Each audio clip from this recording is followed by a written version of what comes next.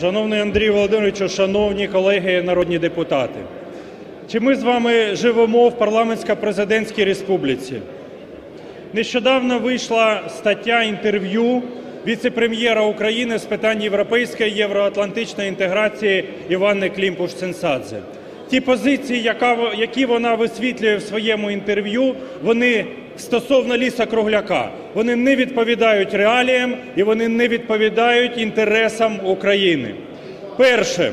Віце-прем'єр стверджує, що мораторій на експорт лісу-кругляка, який ми з вами підтримали в цьому залі і який діє як український закон, що він протирічить Угоді з Світовою організацією торгівлі. Але це не так.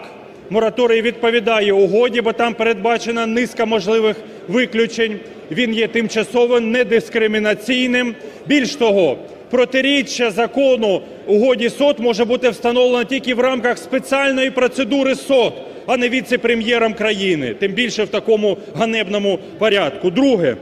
Віце-прем'єр стверджує, що мораторій не працює, не приносить користі країні. Це неправда. Мораторій працює, навіть за той час, що він працює, це сотні мільйонів додаткових інвестицій, це надходження додаткові до бюджету, це нові робочі місця для українців, це гідне життя по всіх регіонах України тим, хто працює в цій галузі.